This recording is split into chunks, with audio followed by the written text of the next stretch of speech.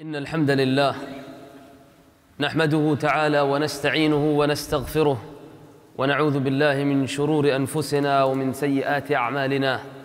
من يهده الله فلا مضل له ومن يضلل فلا هادي له وأشهد أن لا إله إلا الله وحده لا شريك له وأشهد أن محمدا عبده ورسوله صلى الله عليه وعلى آله وصحبه أجمعين. أعوذ بالله من الشيطان الرجيم. يا أيها الذين آمنوا اتقوا الله حق تقاته ولا تموتن إلا وأنتم مسلمون. أما بعد أيها المسلمون A few days ago we witnessed a woman invited to our lands, our Muslim country, and specifically a country that we are proud of because it is Mahbat al-Wahi. It is the place of revelation. It is the place where the most beloved messenger of Allah sallallahu alaihi wasallam resides today. It is the place that we know as a place of ilm and ulama, knowledge. It is a place where Islam has spread. So this evil woman, قبحها Allah, وقبح ما جاءت به she came to Riyadh and she was singing at a concert and as she was singing with all the profanity and all the things that she was talking about her clothes tight clothes they ripped in front of the mala in front of the Muslim shabab exposing herself making herself semi-naked and this woman by the way is known for even worse things than singing and so what did she say This is what I want you to think about today. What is it that she was singing about? It wasn't just about all the filth that they sing about, but it was at this very moment that she stood semi naked in front of Muslim shabab who are cheering and dancing at her voice and at her words. And she starts to shout down on the same land that walked upon it our forefathers, the Sahaba, the companions of Rasulullah on the same land that their blood was shed to make sure that Tawheed was spread in that land, to make sure that shirk was abolished from that land. On that same very land, she started to shout out, Bow down to a goddess. Bow down to a goddess. This is what we accept. This is what we tolerate today. Is this is how weak and low that we've become? That we accept for these people to come and try to challenge Allah in front of our shabab.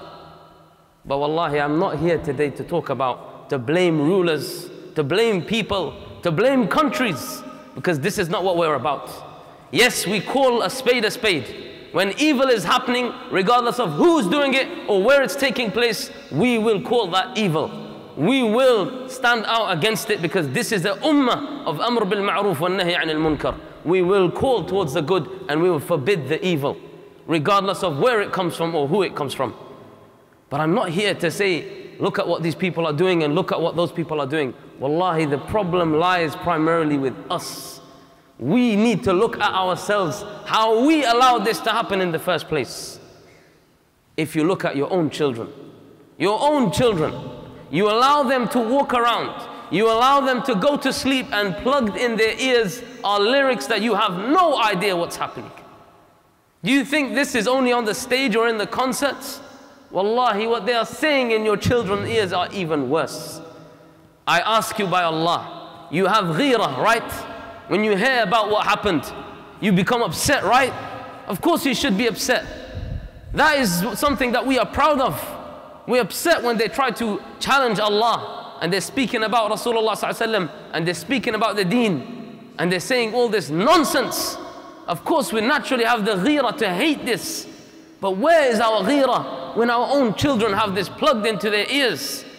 But we want to busy and we want to start saying, look at what's happening over there and look at what's happening over here. I'm not saying that it's not wrong, but I'm saying where, are, where is our ghira then when it comes to our own children? When it comes to our own families? When it comes to our own communities? When it comes to ourselves? And that's why when we start the blame, wallahi, we need to start with me, myself, and I. We know we need to hold ourselves accountable because this is how it's going to change.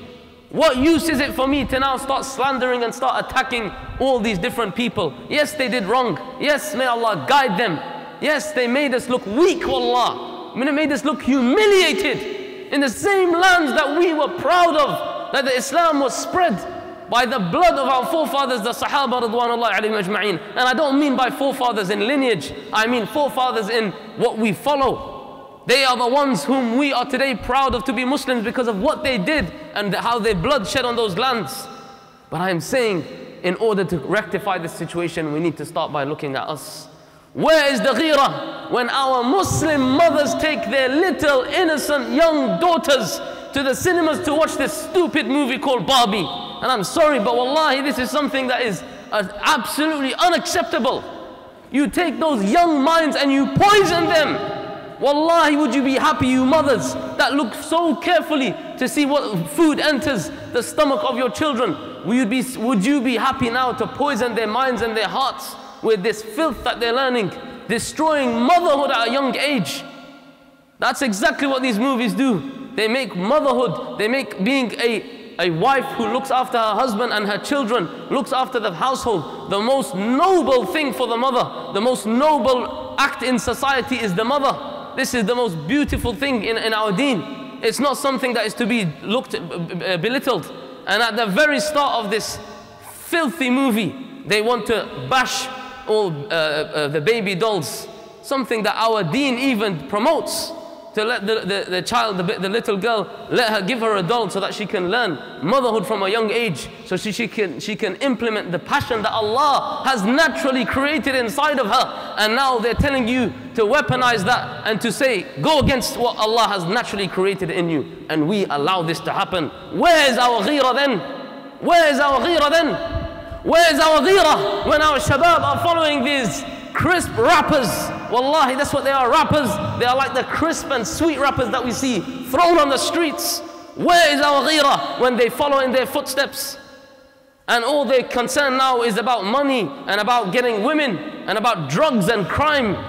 Where is our ghira then to allow them to go into this nonsense? I ask you by Allah, this, this is where we need to start. This is where we are failing when it comes to ourselves. We're too busy criticizing others that we don't have time to look at yourself in the mirror and see where you are going wrong. And we don't forbid the evil that's happening right in front of your own eyes, right in your own household, under your own roof. You're too busy looking at other households. Cry over yourself if you want to cry over something. And likewise, it's something that we take honor in. It's something that we are proud of as Muslims. As Allah says, and I've said many, many of times in this, in, in, on this minbar, كنتم خير أمة أخرجت للناس تأمرون بالمعروف وتنهون عن المنكر وتؤمنون بالله that you are the best of people that have ever been you Ummat Muhammad sallallahu alayhi wasallam you are the best of ever people to come about why? What is the reason that makes you the best of people? Is it your lineage? Is it because you're like Banu Israel, you're a chosen people, that you have a chosen lineage? La wallah, it's because ta'muruna bil you command people to good, you call people to the good. And look how Allah starts off by commanding people to good. Don't go around saying, don't do this, don't do that. Don't be so harsh, but rather call people to good. Show, show them the beauty of Al-Islam. Call them to that which they will love and, say, and encourage them, entice them. Tell them about the reward of Allah. Tell them about Al-Jannah. وَتَنْهَوْنَ عَنِ الْمُنْكَرِ At the same time, you need to forbid them from the evil. Stop them from doing that which is wrong. وَتُؤْمِنُونَ بِاللَّهِ And have firm faith and belief in Allah. This is what makes us the best of people. And the minute that we turn away from this, then we have turned away from being deserving of being the best of nations, wallah. We are not, we are not worthy of being the best of nations if we turn away from this task that Allah has given to us.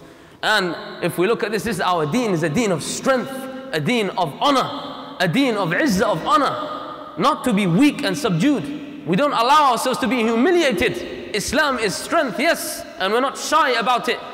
Ya Yahya khudh al-kitaba biquwwah. Oh Yahya, take the book with, with strength.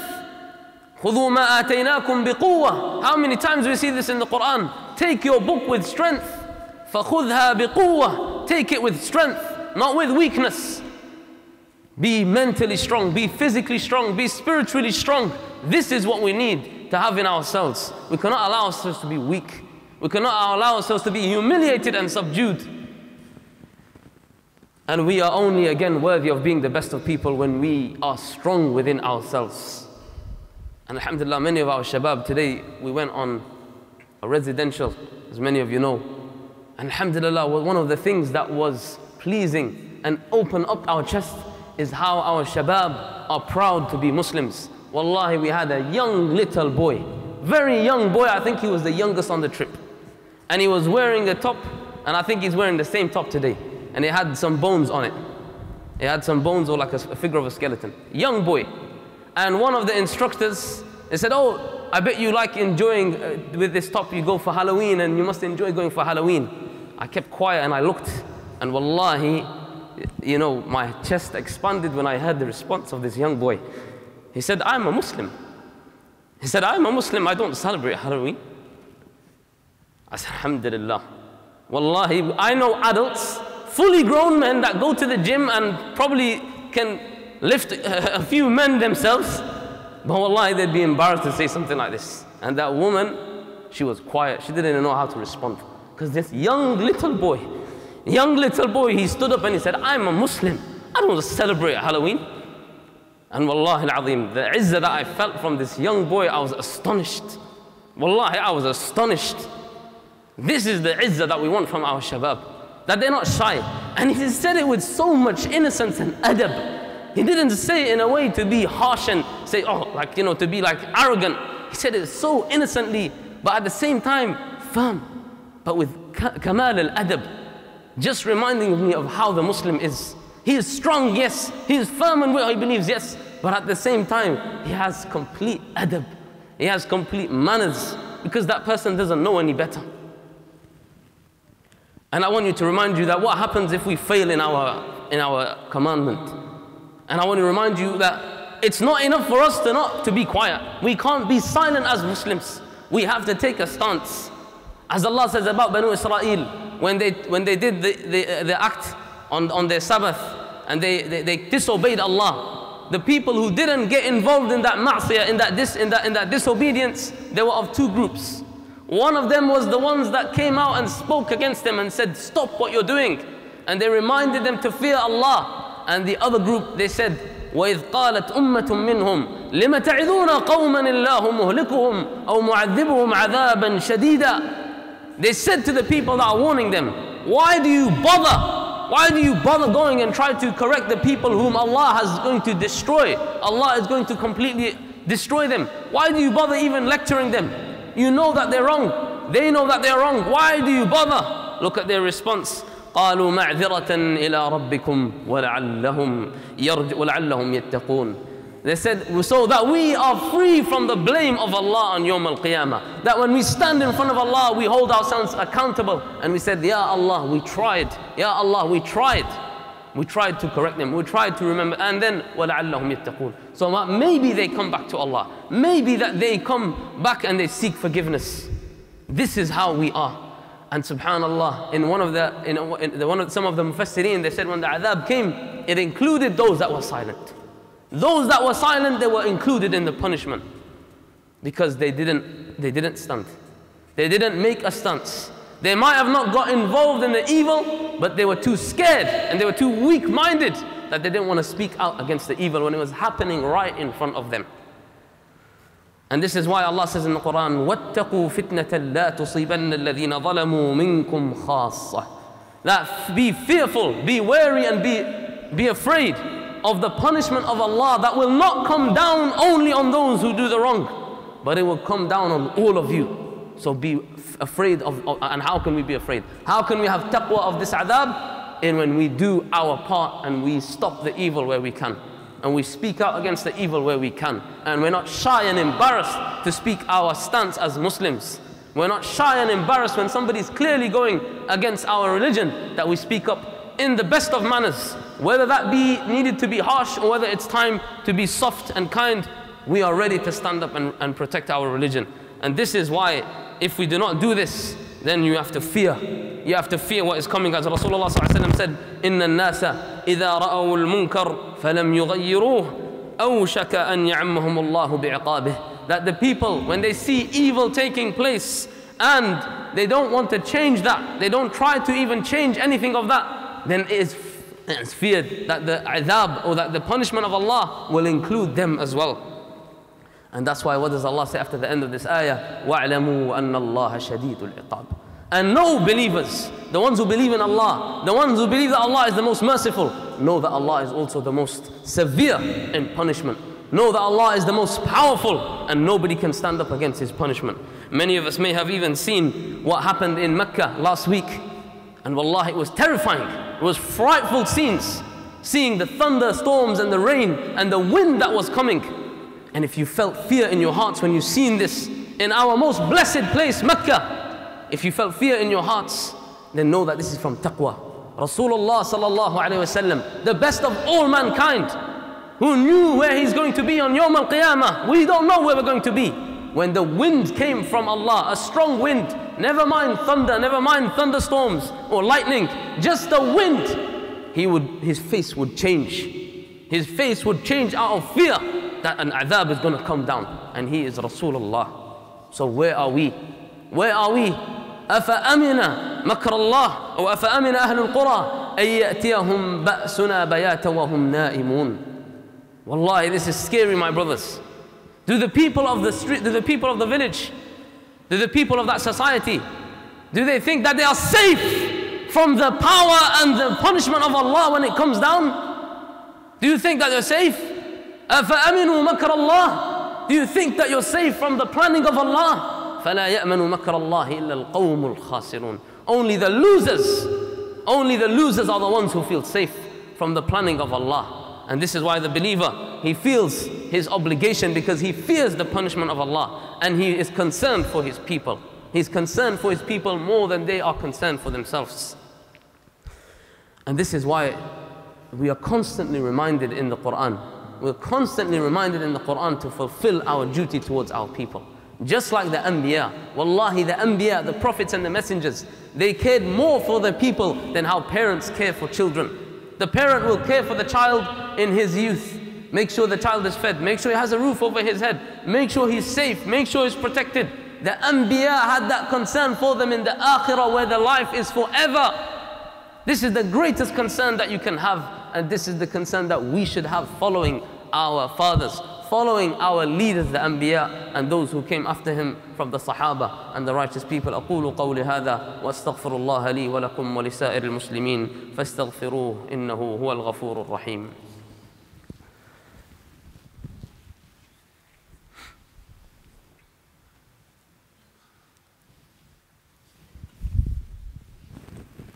الحمد لله وحده والصلاة والسلام على من لا نبي بعده At the same time, my brothers, we need to have balance in our lives.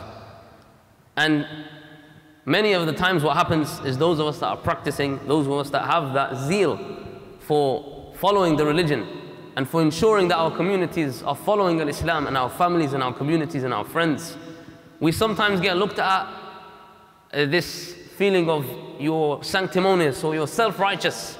You think that you're better than others. You are judging others. But there's a fine line. It's how we deal with people. This is what is important. We do not judge the people. We do not condemn people. As Rasulullah said, من قال هلك القوم فهو أهلكهم that whoever says the people are destroyed and finished, he is the one that is destroyed and finished. Or he is the one that has destroyed them and finished them off.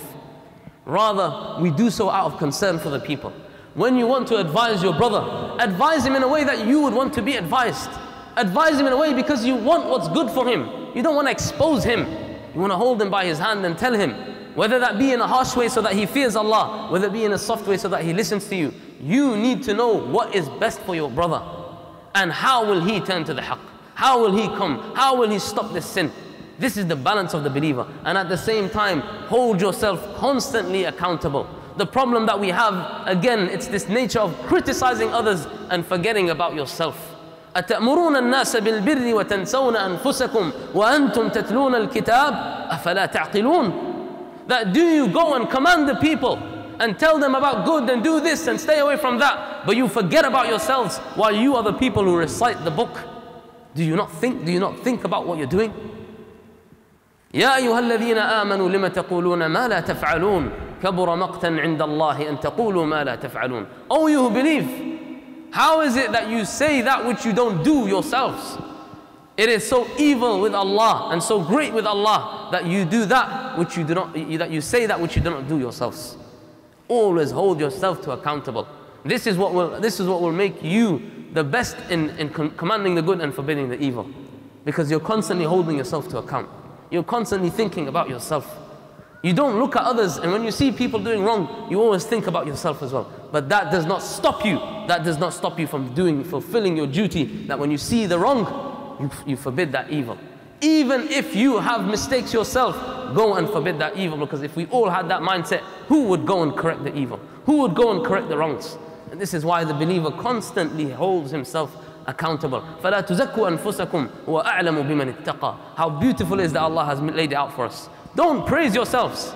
Don't go around saying, oh look, I stopped, I, I helped this person come to Islam, and I stopped this person from doing this, and I, I did this and I did that. Always, always remember that Allah is the one who knows who has taqwa. Allah is the one who can decide who is the best of us. And when you have this mindset, then you are humbled in front of Allah. And if you look at the people of Jannah, Subhanallah, look, Allah told us what the people of Jannah are going to say. Remind yourself of this ayah. When you think about people, when you see, when you go on the street today and you see that drug dealer, Wallahi, I want you to think about this ayah today. When you go out on the street and you see that woman who is selling her body, when you see those things that Allah has guided you and, and has tested them with. وقالوا الحمد لله الذي هدانا لهذا وما كنا لنهتدي لولا أن هدانا الله they say, Alhamdulillah, Allah is the one that guided us, not me, not me myself, but Allah is the one that guided me. And had it not been for the guidance of Allah, then I would have never been guided. So always remember that when you see that evil happening place, don't think that it's your virtue, your fadl that makes you better than that person. Wallahi, you are not better than anyone. Only Allah knows. And remember, Alhamdulillah, Allah saved me from that evil. Alhamdulillah, Allah saved me from that evil, didn't test me with that. Let me help my brother. Let me help my sister so that Allah can save them from that evil as well. Wallahi, when we have this mindset, then we have the most pure mindset and, and we can change people's lives for khair. And Allah will definitely hold our scales and, and, and, and give us those good deeds when we are true with our intention for what we truly want for the people. هذا وأصلي وسلم على نبينا محمد وعلى آله وصحبه أجمعين اللهم صل على محمد وعلى آل محمد كما صليت على إبراهيم وعلى آل إبراهيم وبارك على محمد وعلى آل محمد كما باركت على إبراهيم وعلى آل إبراهيم إنك حميد مجيد. اللهم أعز الإسلام والمسلمين وذل الشرك والمشركين ودمر أعداء الدين. ربنا آتنا في الدنيا حسنة وفي الآخرة حسنة وقنا عذاب النار. وقوموا إلى صلاتكم يرحمكم الله.